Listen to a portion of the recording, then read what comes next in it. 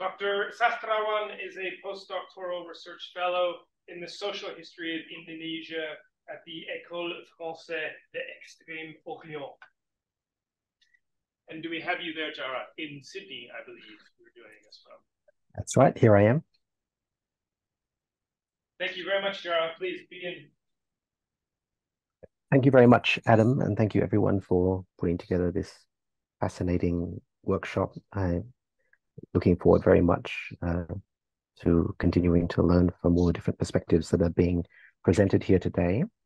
Uh, before I begin, I'd like to acknowledge that I'm, I'm dialing in from Sydney, Australia, and I'm uh, currently situated on the lands of the Gadigal people of the Eora Nation, uh, one of the Aboriginal Australian nations that have been custodians of this continent for 65,000 years. So I acknowledge their elders, pay respect to their elders and their ongoing ownership of this land. Allow me to share my screen. Well, let me first set up the PowerPoint.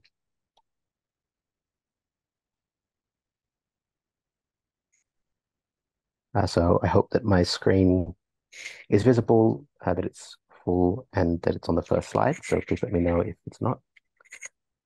Today, I'd like to present work that is uh, in collaboration with two of my colleagues, um, Arlo Griffiths uh, and Eko Bastiawan, uh, both of whom I've worked for several years in the field of Old Javanese epigraphy. Uh, and I acknowledge that the, the funding for the research on the Sangguran inscription that we have conducted last year and this year is uh, funded by the ERC Synergy Project Dharma. What I would, what we would like to focus on uh, this morning in Scotland, this evening in Sydney, is the Sangguran inscription as uh, in terms of its contents primarily, uh, but also then the significance of those contents. So I won't be speaking specifically about the colonial context of the discovery of Sangguran inscription, uh, nor its transportation to Scotland, where it now resides. Um, I have no doubt that we will have plenty of interesting discussions about that story later on today.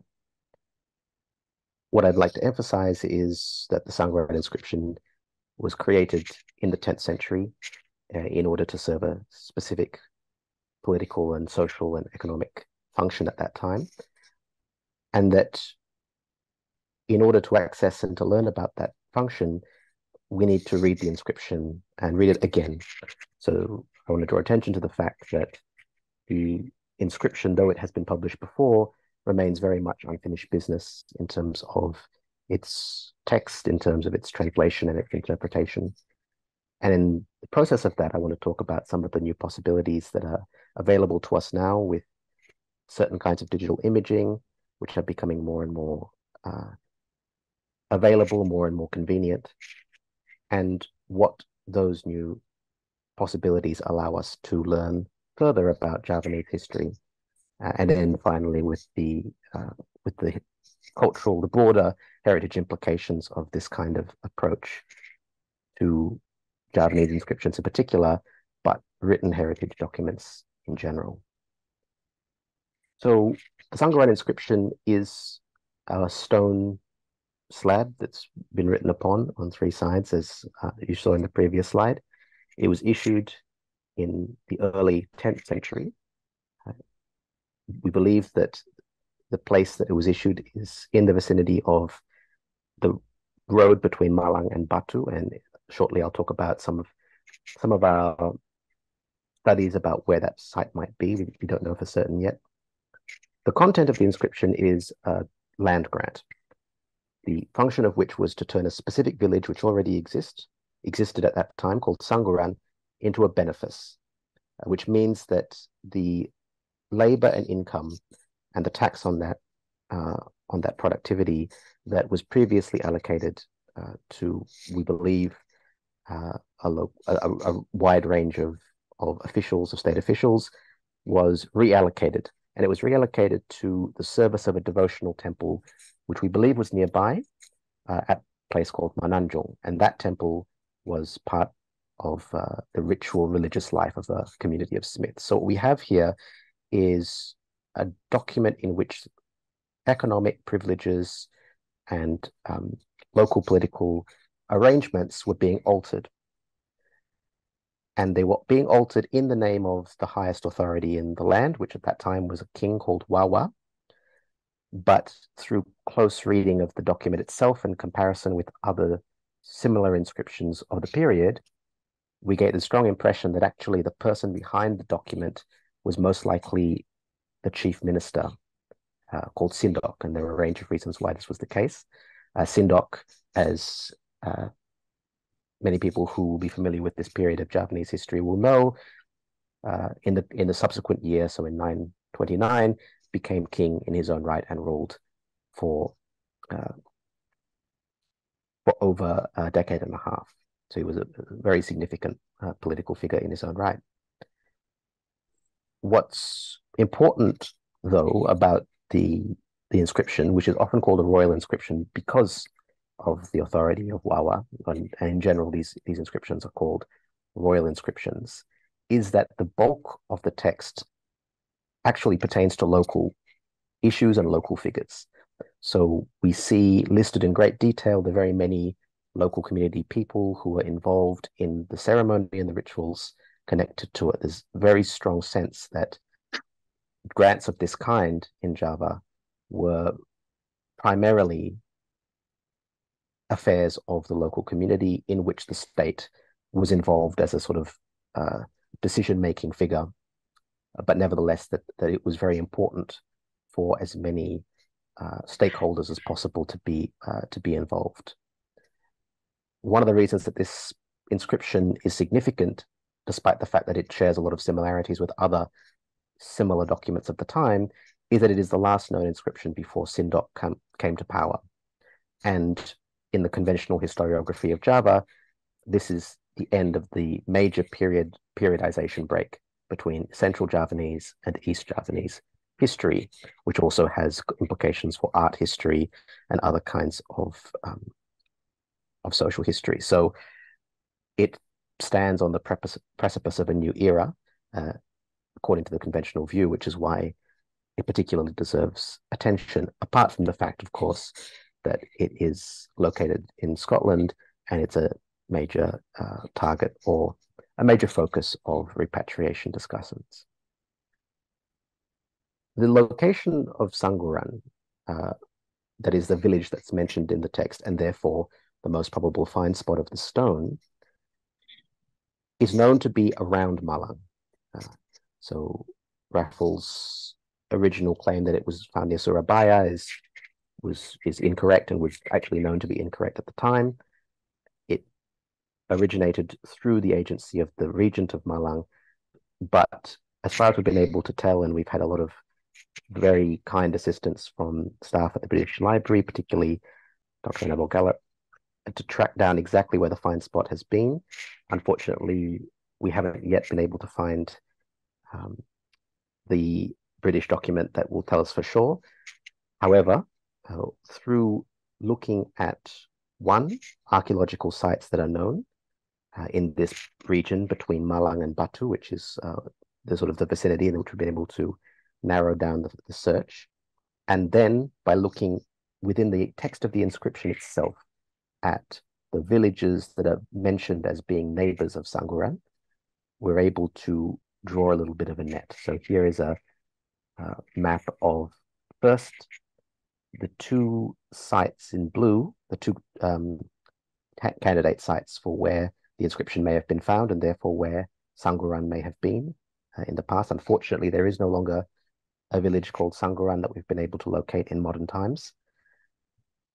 At Pendem, uh, we have archaeological excavations, whereas at Gandat we also have uh, a smaller number of of archaeological material discovered, but also a community that has very much embraced an identity as being the fine spot of um, of the Sangguran inscription, and that's something which my colleague Eko has been working very closely on. But then these green spots are identifications that we've been able to make from the ancient names of villages mentioned in the inscription with similar counterparts in the modern toponymy. So what I've listed are the old spellings, the, the 10th century spellings uh, of those place names. But as you can see, they broadly circle the two candidate sites that we've been talking about. So we are very sure that we're in the right region, but unfortunately, uh, unless we find some uh, previously unrecorded uh, name of one of these sites that, that approximates Sangguran, we won't be able to precisely nail it down. But we are without doubt within the right region. And if uh, we begin discussions about where the Sangguran inscription originated from, uh, this is uh, this is the region that we have to focus on. And having mentioned what the text contains, I want to emphasize that as of yet, the text itself is not properly established. So while there is an addition, uh, is not. It has not yet been. It has not yet been worked to an extent that uh, we can be fully reliant on what's available. A little bit of the history of research on this inscription, which has been available for research to Western scholars at least since uh, 1813, theoretically, 1812, in fact. Those efforts were numerous, but they did not give a reliable reading for various reasons. In the early period, because uh, scholarly understanding of the Old Javanese language was not yet developed, it was still in its infancy. And later on, because there was not easy access to the stone directly, uh, but scholars were reliant, including Brandes, so including to the first complete edition that was published in Brandes's uh, canonical publication of Old Javanese inscriptions, reliant on photographs and eye copies rather than direct inspection of the stone. And due to the quality of those particular photographs, uh, Brandes's edition is replete with gaps, uncertainties, question marks that had to be corrected in a small way and on certain on certain topics such as the date or the Sanskrit opening by subsequent scholars, but has never been fully revised. Brandes did not furnish his editions with any translations, and in fact, the stone was not completely translated, at least in published form, until H.B. Sarkar's corpus of Old Javanese inscriptions, which furnished an English translation, but because he was still reliant on Brandes's readings and the lacunae that were present there, uh, unable to give a fully comprehensive interpretation and rendition of the text. Through our research, we found reference to readings by subsequent scholars, um, such as uh, the Japanese Kozo Nakada and the Indonesian scholar Hasan Djafar. Uh, we haven't been able to find any published versions of those uh, readings or translations, uh, nor, nor in fact have we been able to find unpublished versions. So if they have been completed, which is possible, uh, they certainly remain unpublished and definitely not easily accessible. So the point is that, uh, that after uh, a relatively long period of the stone being known, we do not yet have a published edition or translation that is reliably based on directly inspecting the stone. And we can reflect on the reasons why this is the case. Um, there are many reasons, it's not just one culprit, but this is a situation that we face. And, I, and our primary aim uh, in my research and, and that of my colleagues is to make such, uh, such a work available to the general public. So in our efforts to do so, we visited Minto uh, in the middle of last year, uh, a nice, uh, nice summer day in, uh, thanks to the generosity of of the um, Earl of Minto himself in making the stone available to us. We focused on two things. Firstly, reading the stone directly and, and preparing a new edition. And secondly, taking high quality, uh, well, creating a high quality reproduction of the stone that could be used for future research.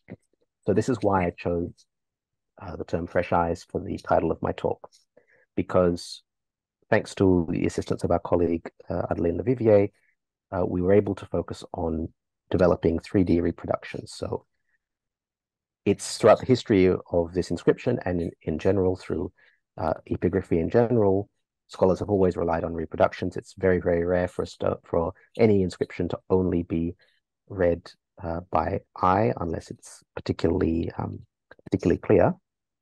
So particularly for so, so for stone like Sangguran, uh, we indeed rely on cross-checking our inspection with certain different kinds of reproductions. As I mentioned, the early reproductions were challenging to use and resulted in a lot of question marks. Now uh, we have new tools available. Uh, the use of 3D modeling in particular is useful for inscriptions of this kind, those which are bulky and have, and have a significant amount of depth uh, discrimination. In order to capture this, we're able to use a relatively simple system of taking uh, a large number of high quality photographs from different angles and then processing them to create a 3D model such as the one you see here. And this is obviously not the actual color of the stone, but I've applied uh, a filter in order to draw out the features ever more clearly. So here in the second panel, the second image, we see how the object can be rotated and zoomed with the depth differences highlighted. So this really helps us when we're not certain of a particular reading and we can't see it clearly with our own eye, to check ourselves and to double check our readings, and also to easily compare with others. So by creating these digital images, it's not necessary uh, to go back to Scotland every time uh, in order to double check what we may have seen. It's not necessary also to attempt to use photographs which, for reasons of lighting, uh, might not actually show depth differences as clearly as a 3, 3, 3D model can. So certainly we're not putting aside any of the old methods of reproduction, but we find that for many cases, this sort of 3D modeling can give us a new perspective and a new vision into the inscriptions. So we happily are able to offer some advances, some improvements to the readings that have already been published. Uh, and that's primarily thanks to, uh, firstly, the opportunity to see the stone in person and to make an on the spot reading. But secondly, and perhaps more importantly, due to the quality of the 3D reproductions that we have been able to create. So here we focus on a passage which lists the uh, the victuals, the provisions that were offered to the guests, which were, who were numerous uh, and mostly from uh, from areas around Sangguran uh, in order to celebrate the demarcation, the declaration that Sangguran would now become a benefice for the temple. So we have here a range of uh, terms that, so the, the, the, readings in yellow, as you can see, are those which were absent in Brandes or were incorrectly read. In Brandes, largely absent. Uh, and you can see here that some of them are quite significant. Uh, names of types of food, uh, types of animal uh, that were eaten, and um, and even even spe specifications about the total number of servings and the and the types of ingredients within them. If we look in our English translation, which uh, is almost uh, almost at a kind of advanced or, or complete stage, but nevertheless with some work to do still, there are certain terms which are still not clear uh, to us or to anyone uh, technical terms about the kinds of dressed up rice. Um, the term gangan is quite obscure. Uh, questions about whether injap, injapan refers to some sort of dessert or, or some sort of manner of serving, rather. Uh, these questions remain open. If we look in the Old Javanese Dictionary of Zoetmulder, they're very much uh, not touched upon or uh, have many question marks attached to them. So even with an inscription as well known as Sangguran, there are still many mysteries of interpretation. And so the, that's why I emphasize the fact that we're very far from done in terms of reading, translating, and interpreting these things. Uh, and all the more reason that uh, we should close, pay close attention to the sorts of possibilities that uh, we have when looking at these materials with fresh eyes. So certainly we very much invite ongoing engagement with the, the linguistic side, particularly the lexicography and the and uh, the terminology of inscriptions, which is something which uh, is still very much in development in old Javanese history. But speaking of history, I just want to draw attention to some of the broader implications uh, of this stone. I mentioned that it was it's considered to be a boundary marker between the East Central Javanese period and the Eastern Javanese period, as shown in this map. And it is associated with the so-called volcanic catastrophe theory of Javanese history, wherein a previously flourishing Central Javanese civilization and kingdom was destroyed through a volcanic eruption and moved or fled to East Java. And this is a, a theory which has general currency. It's certainly not universally accepted. Um, and I myself find it extremely problematic. But this is nevertheless something which is well known in Indonesian historiography. We find in the Sangguran inscription, which is from Wawa's reign, so from the predecessor of Sindok, that there is almost total administrative continuity, that the ministers that are listed in the Sangguran inscription as being under Wawa are almost identical to those of the subsequent years under Sindok. So if it is the case that Wawa was the last king of the Central Javanese period and Sindok was the first of the East Javanese period, and that between their two reigns there was a great catastrophe, that is not reflected at all in the per the perseverance and the continuity of the administration, which I find to be a relatively implausible scenario. Uh, so, in that sense, the Sangguran inscription does belie the well known uh, theory. Another important aspect of historiography is the notion or the terminology of Madang.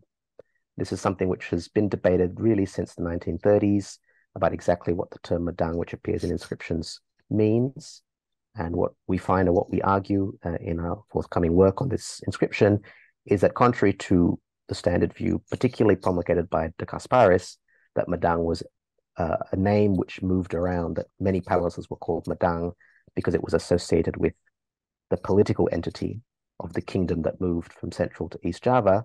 And that assumption is also reflected in this map uh, on Wikipedia, uh, which has the name Mataram and then Madang in brackets, implying that Madang and Mataram are two different names for the same political entity, which spanned both East and Central Java. Uh, we find, in fact, rather that the Sangguran inscription supports the notion that Madang was a place in Central Java where the state originally was located, but which it later abandoned for other locations. And so if these revisions hold, then it implies that Sindok may not have been, in fact, the first king based in East Java, and the notion of the Central East Javanese uh, periodization will need to be reconsidered. So to conclude, and this is my final slide, uh, we know about the Minto stone, also known as the Sangguran inscription, largely, in my view, due to its colonial history, its unusual position as, an, as a Javanese inscription that has gone a very long way from its home.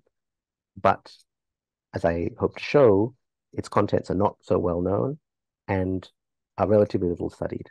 Uh, so we still don't, for example, have access to an easily available translation of this of the contents of the stone into Indonesian. In order to gain knowledge of these things, we need to be able to read the script and the language.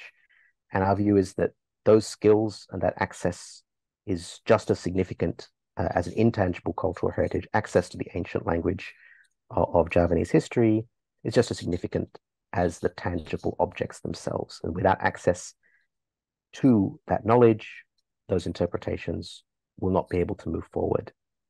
Importantly, though, the tangible does matter. Without access to the stone, or and reliable reproductions of it, such as those that we've been trying to produce using different techniques, the study can't progress either. So we see here, uh, for example, a replica that has been created by the community at Kandat, so one of the places where the stone is believed to have come from. Uh, as part of their identification with the stone and its origin, they've created a replica uh, but because they lack access to the original stone itself, what they've, in order to inscribe it, they have drawn on the published text of Brandes, uh, with which itself was not of course, based on the stone itself, but rather of photographs of the stone. So here we have an uh, the, re the replica is therefore mediated in a number of ways through uh, through reproduction, uh, and there's an area in which, with new reproduction, with access, whether physically or digitally to the stone, uh, replicas such as these can be um, can be developed uh, and can be made more uh, drawn closer to the originals, uh, which they attempt to replicate. So we hope, uh, as authors, as, as scholars, that the many important discussions around the repatriation of objects like this uh, will continue to focus on also the ancient context in which they emerge uh, and the importance of being able to to connect with that uh, old history, with the old cultures uh, of which these objects are a part, through the process of learning the languages, learning the scripts, and making the objects accessible as broadly as possible so that those processes of learning can continue to progress unhindered. So with that, I thank you all very much for your attention. Thank you, John, for that very fascinating presentation. Thank you. Uh, and we'll take a couple of minutes uh, for questions uh, before our tea break. Does, does anybody have a question or main questions? Alex. Thank you. Uh, Jarrah, thank you so much for your very, very fascinating presentation. Um, I'm just wondering thank you, uh, whether there's a possible visualizations of the text in the forms of relief in the nearby temple did you do such a cross references?